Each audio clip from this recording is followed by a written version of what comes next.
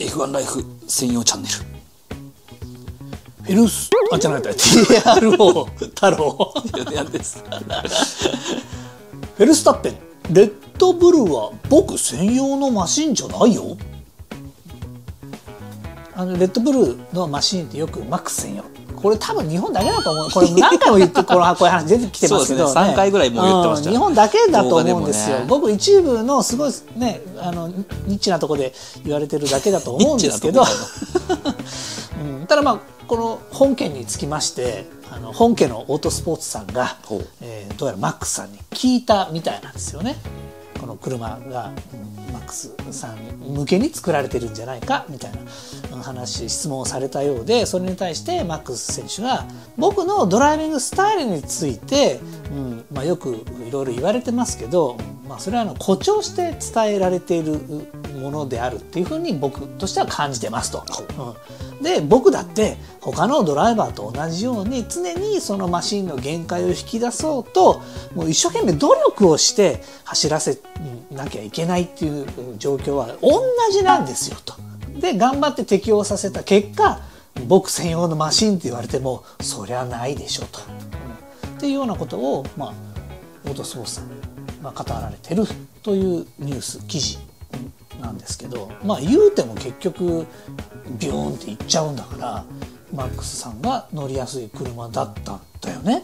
いやだから違う違うって言ってるでしょ？乗りにくいけど乗れうん。乗りうん。乗ってるだけだっていう、だから他のドライバーが下手っぴなんじゃないって言ってるとも取れるわけ。まあ、チェコが遅いって言ってると一緒ですよね。そういうことだよね。別にあのマックスに合った車だから速いんじゃなくて、僕は乗りにくいけどそれに合わせて走ってますと、でもう一台の方がうまく合わせられてないだけなんじゃないですか？もしくはもともと遅いんじゃないですか？って言ってる遅い。アルボンが遅い。ガスリーが遅い、まあその2021年以前のやつはまた別ですけど、はいはい22年以降の今のレギュレーションの車に関しては、もうベースとして、もうオーバーステアな傾向にはなりようがないので、はいはいはいはいまあ、フロアの下でがっつりダウンフォース出すので、今のレギュレーションで速い車っていうのもちろん今のレギュレーションでもオーバーステアな車にはできますけど、オーバーステアな車にした結果遅いですよね。だってリアがふフラフラするわけだかあーはいはいはいらそれよりもリアフラフラさせようと思ったらダウンフォースフロアではたくさん発生させられないですからああねそういうことなのね、うん、一番今の車でダウンフォース発生するフロアの部分でダウンフォース発生させたら当然リアはしっかりしますからねフロア。ああし下でダウンフォースを押さえつけるからリアは安定するんだ。おーなるほどなるほど。じゃあ全然マックス専用じゃないじゃん。はい。ありがとうございました だからそれをマックス選手は言ってるのに、はい、それはもうだから以前このチャンネルでも何度も言ってますけど、もうそれはこそテクニカルディレクターのピエール・バシェだって同じこと言ってましたしね。バシェもやっぱりだからマックスの方がチェコよりもうまく車に適応してるだけだっていうふうに言ってましたよ。あーチームとしてはその少しでも速い車を作るだけだからマックスに合わせて作るんじゃなくて少しでも理論上速い車を作るとでそれにドライバーが合わせるしかないわけだけどそこがやっぱチェコよりもマックスの方がうまく車に適応するし常に高いレベルで安定してパフォーマンス発揮するっていう。チェコだって時々はマックスに近いところにいたりするけど時々じゃダメなんですよね。うん常にいない常にいなきゃいけない、常にまあ上にいなきゃいけないわけで、はいはいそれはマックスは常にほぼ車の全力を発揮している。チェコは出せる時もあれば出せない時も結構あるみたいな、そういうところがやっぱり2人の差になってるっていう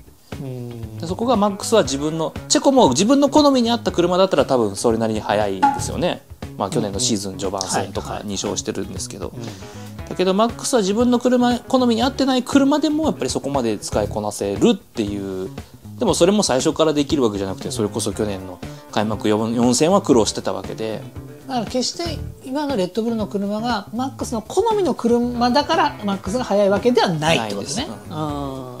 それをだからドライビング面でもこうやった方が速く走れるだろう。自分の本来のドライビングじゃなくてこの車を速く走らせるドライビングがこうだっていうのをまあ突き詰めていった結果こうなってるっていうところと、もう一個は車のセットアップ面でこういうここをこういう風なセットアップにしたら割と自分としては走りやすいなとか、まあ走りにくかったとしても速く走れるなとか、そこを突き詰めてるのがやっぱりマックスは突き詰めてる度合いがやっぱり全然違うっていう。どう違うんだろうね他のドライバーと。もちろんそこはマックスの能力もあるし、もう一方ではエンジニアがマックスの好みとかまあ、スタイルをよく理解していて、マックスだったらここはこうした方が速いよとかこういうドライビングできるんじゃないっていうのを提示するのがやっぱり、まあ、あうんの呼吸というか、はいはいはいマックスが説明しなくてもエンジニアが求めてるのこれじゃないっていうのが、多分あなたこれで走ったら速いと思うよとかっていうのががっちり合ってれば、ん。ね、ああでもないこうでもないって話しなくてもいきなりスパーンとはまるし、でそれに対してマックスもここがこれすごいいいけどここの部分こうだったらもうちょっとさらに速くしてれるんだよね、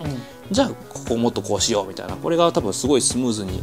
でも例えば金曜日全然遅かったりするじゃないですか、金曜日から土日にかけての改善が良かったりするのはやっぱりそこがお互い理解ちゃんと深いから、今ここでこうだからうまく走れてないんだよね。じゃあこここうなれば速いよねとか金曜から土曜に対するこのリカバリーも早いですからねマックスは。まあ、一個言ってたのはアゼルバイジャングランプリの時にはい。チェコが先行して、まあ、セーフティーカーのタイミングでチェコがピットインしたんで、もう逆転できないってなった時もうこれ勝てないってなった時に、もう勝てないんだけどそのレースじゃあレースの中でいろんなセットアップ試してやろうって言って、ステアリングの中の上でできるデフとかいろんなもののセットアップをいろいろ試して、はい。その時にだから自分の中でのデータ取りをしてるわけですよ。あここの設定をこう変えたらこの車こういう風な挙動を示すんだとかっていうのをいろいろチェックしといて、でその後の次のレースからそれを生かしていくっていう、そこで結構見つけたのが大きいことじゃないんだけどでもここをこういう風にいじったら自分の好みに合うみたいなのが、そこでそのレースの中で見つけられたっていうのが大きかったって言ってたんで、まあ、そういうところの突き詰め方がやっぱりちょっとレベルが違うし、まあ、それはやっぱもともと速くてなおかつ余裕を持ってレースしてるから精神的にも、だからじゃああこ今日はもう勝てないな2位のままだなでもじゃあ2位同じ2位で終わるんだったらここで残りの周回数有効活用しようじゃあ実装テストだ。ああそういうこと？そういうことができちゃうっていうのが、へえまあ、去年22戦21勝してますけど、まあ、レッドブル全体として、うん結構だからレース後半とかはなんかいろんなセットアップ変えたりとかしてますもんねそのステアリング上でできるものを。これのなんかテストやってみようみたいなこと。を、まあ、それはエンジニア側からも言ったりとか、結構やってますからね、まあ、そうやってだから今回勝ってるからいいやとかじゃなくて、勝ってる中でもやれることをやっちゃうっていうのが確かにそうだね、うん。そこがやっぱ強いっすよね。勝ってるからっつってただ流してるのと、うんそこをテストの場だと捉えていろんなことをやってるっていうのは言われてみるとああなるほどね、そういうなんかもう飽くなき探求心があるから、うん。専用車じゃなくても車を使いこなせるし、うんまあ、逆にチェコはもともと速く走れないってそこで頑張ってる状態だから、うんそんな研究してる余裕ないですよね、速く走ることで精一杯になっちゃうから、まあ、後ろからスタートして追いかけることで精一杯になっちゃうし、そこで余計差が広がってしまうっていうのもあるし。まあ去年あれだけ適用できなかったチェコ選手がじゃあ今年適用できるかっていうとなんか素人的には疑問符がやっぱり今年も適用できないんじゃないのみたいな、まあ、たまたま好みの車だったらいいけどレッドブルの今までの流れでいくとどうも誰が乗っても運転しやすい車は作れない傾向があるじゃないですか。まあそこは全どうなるかはね今年の車はまた別なんで分かりませんけど、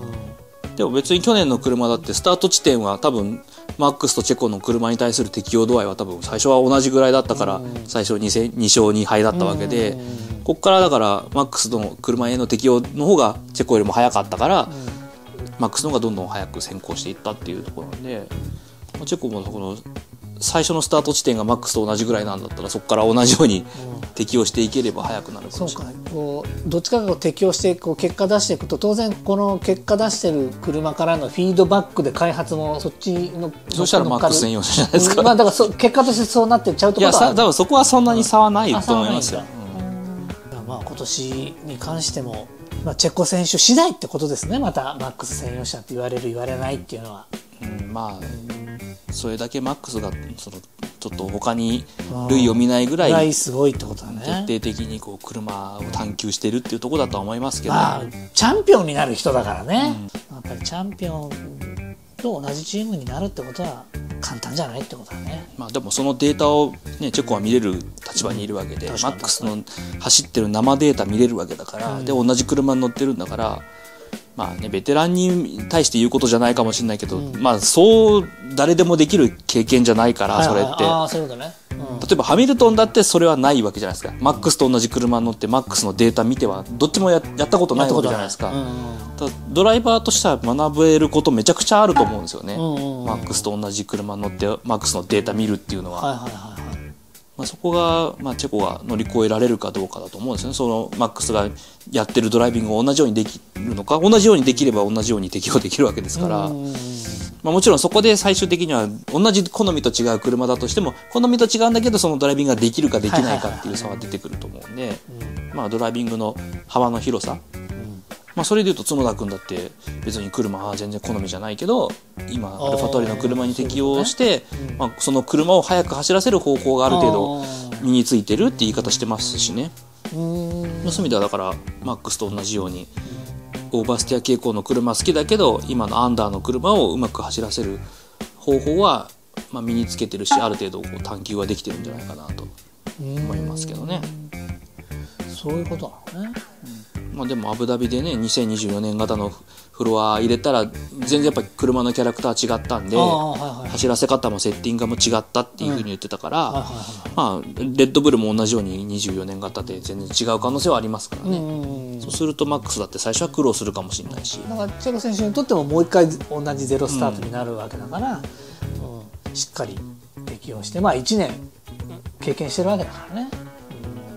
まあ、結論としては頑張れチェコってことですね。えっ、と、まあ、太郎さんは応援しないで。もちろんもちろん応援えし応援してないですよ。なんだかんだでアミーゴとか書きがちなんで。うそうそうア。ミーゴとかとんがり帽子とかも書かないようにねしていかに2023年をだから面白くなくしたのは太郎っていうことでいいですか？